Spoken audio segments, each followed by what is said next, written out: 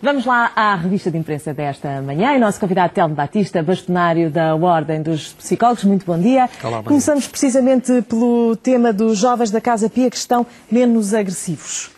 Que Sim. foi um assunto que destacou aqui do Diário de Notícias. Exatamente, é um assunto eh, que me parece extremamente importante, não só pela natureza da situação, de se tratar, obviamente, de uma situação com jovens num- numa, numa instituição que tem dado tanto que falar, mas sobretudo porque me parece extremamente importante destacar que houve um trabalho e um esforço de fazer uma intervenção psicológica extensa para modificar os comportamentos e as atitudes dos jovens. E por isso este tipo de trabalho, que se faz pouco em Portugal, eu acho que não se faz ainda com a devida atenção, merece muita atenção. Da minha parte, devia ser merecer atenção mais das outras pessoas que podem beneficiar das intervenções psicológicas.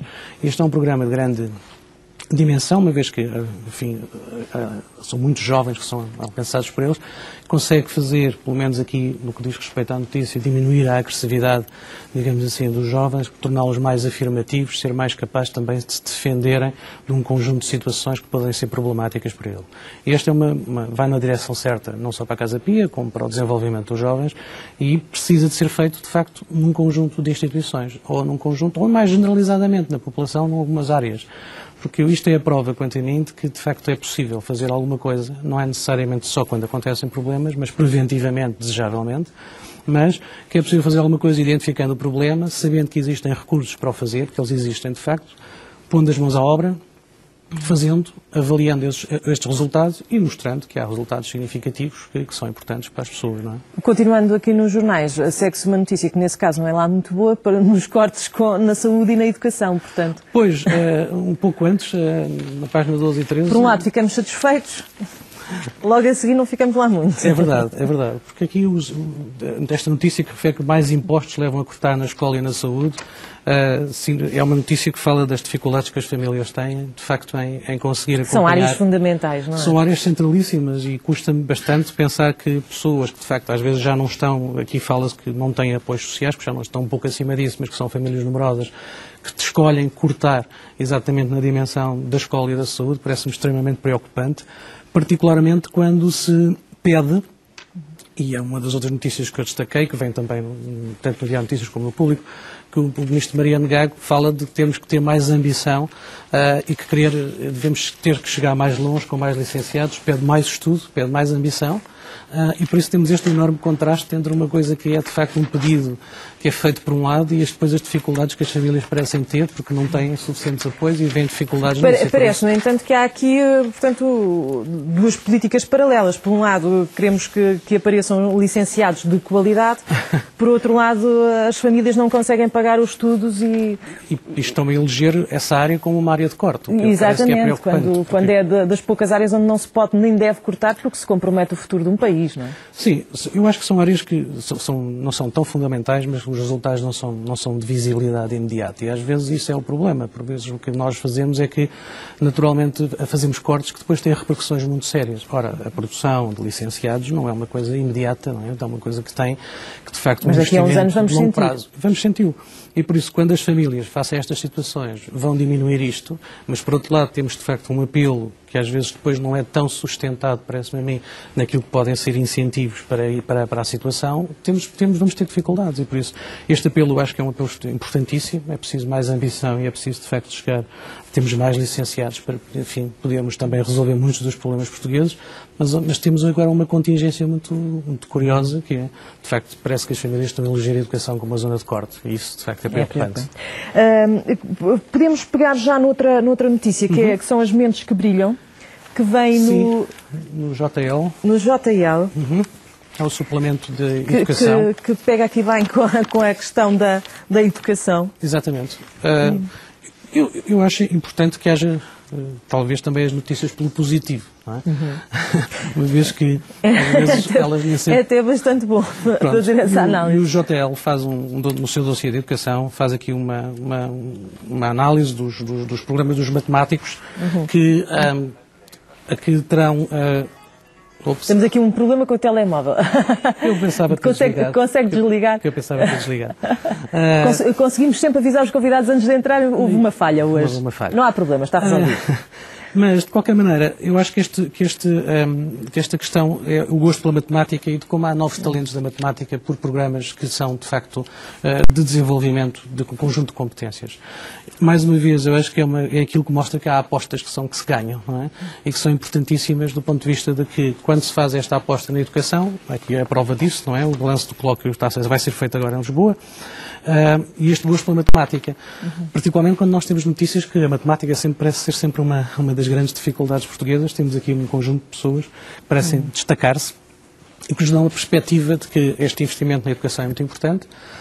Há programas para isto, como há programas para as outras áreas. Eu queria destacar ainda, relativamente uhum. à questão aqui do, da, enfim, daquilo que é a possibilidade de intervenção, como já vimos na Casa Pia e noutros lados, que, mais uma vez, não só aqui há um programa de matemática, mas, por exemplo, programas de intervenção psicológica para o insucesso escolar e para combater o insucesso escolar têm sido bastante bem sucedidos, não é? E por isso, uma das partes em que nós de facto também devemos, sendo um problema nacional. Mas isso é, é, implica investimento, não é? Implica investimento, mas às vezes é, é, preciso fazer algum investimento para ter o retorno. Agora, a questão, esse retorno é visível e às vezes não é num prazo tão, enfim, tão alargado. E no caso, por exemplo, da combate ao insucesso escolar, promoção de competências e promoção de competências. Há vários programas em Portugal extremamente interessantes e por isso nós podemos ter, dar-lhe um exemplo de um, de um que decorre no Conselho de Torres Vedras, que se chama Atitude Positiva e que de facto tem tido um impacto significativo na região relativamente à promoção nas transições escolares, no, no abandono escolar, no insucesso escolar e que de facto é um programa, é um exemplo mas são psicólogos temos... que trabalham com os alunos São psicólogos que trabalham com os alunos e que fazem, não só os alunos que têm problemas, como aqueles que, no, seu, no curso de desenvolvimento, é possível fazer a facilitação das suas próprias uhum. transições escolares. E têm resultados interessantes. E têm resultados interessantes. E esses resultados são, de facto, têm que ser, digamos, vistos, têm que ser analisados, mas têm que ser replicados. É, são estes exemplos que eu acho que são muito importantes, tanto o exemplo da matemática na educação, como um conjunto destes exemplos. Sim, é, não, não, só falar, eh, falar no insucesso escolar é ver que há caminhos alternativos e que há hipóteses Exatamente. de sair desse ciclo, Exatamente. Ciclo e que eles existem cá uhum. e que nós temos maneira de os fazer. Eu acho que é uma, é uma importante mensagem Sim, que nós temos que dar. Exatamente. Vamos uh, aqui também uh, falar de um caso onde o apoio psicológico é, é fundamental, se não mesmo uma salvação para, para muitos casos. no Jornal de, de Notícias, o caso das crianças, mas que vem em vários jornais, o caso das crianças que denunciaram um pedófilo. Sim, estas são situações que se repetem, não é? Naturalmente. E por isso são, infelizmente, infelizmente e são situações muito preocupantes. Preocup... Mas esta coisa de serem as crianças a denunciar, significa que, de facto, a informação que se vai passando uh, facilita a denúncia e, e, e torna com que as crianças, faça com que as crianças sejam mais uhum. conscientes do que é certo penso, e do que é Eu penso que há uma maior consciência disso. Uhum. E voltamos aqui. E não, consegui, não consegue desligar não. esse telemóvel? Consigo, consigo. Ou é alguém que não está a ver, não está a ver a SIC Notícias? Com alguma dificuldade. um, mas... É, é, de facto, dizíamos que, que de facto é, hum, é, é importante o apoio psicológico nestes casos, se não fundamental. Sem dúvida. E, e, e falávamos da denúncia, da importância da, da, informação para a denúncia. Sim, há mais consciência, naturalmente, hoje em dia, da, da, das questões das, das, denúncias, há muito mais consciência, por isso as pessoas tendo essa consciência, se calhar tomam as medidas necessárias para denunciar, mas depois temos que fazer mais coisas, não é? E a intervenção, mais uma vez eu vejo isto na perspectiva, naturalmente, dos profissionais e dos psicólogos. É importante fazer uma intervenção atempada, não é? Muitas vezes ter recursos para, de facto, podermos intervir na situação de forma imediata, para podermos evitar muitas vezes que isto, que estas situações se transformem em traumas mais intensos. E eu lanço isto porquê? porque, eh, de facto, relaciona-se com outra medida, que são as alterações todas que têm sido envolvidas dentro do Ministério da Saúde, com o 112, e onde se eh, falou e se tem vindo a falar da redução da intervenção dos psicólogos na população, junto, do trabalho junto da população, pondo-os numa posição mais recuada. Ora, isto tem uma consequência, naturalmente, é que, por exemplo, em situações como estas ou outras, aquilo que poderia ser um auxílio mais direto, digamos assim, do local, muitas vezes às próprias populações, está limitado. E por isso, acho que aqui também estamos a perder. E estamos a perder com consequências que são, às vezes, poupanças, que não são verdadeiras poupanças, na medida em que são uh, poupa-se agora, mas tem-se o custo acrescido, muitas vezes, da utilização de serviços, de trauma e, sobretudo, naturalmente, do grande sofrimento acrescido para as pessoas. E por isso, eu acho que ah, nós temos que ter uma visão mais não só tão curto prazo, digamos assim, e pensar que alguns destes serviços, algumas destas coisas precisam de continuar, até porque têm demonstração de resultados, e isso é extremamente importante, têm demonstração de resultados, mostram que são eficazes e mostram que poupam inclusivamente, não só dinheiro, naturalmente, mas sobretudo também sofrimento às pessoas.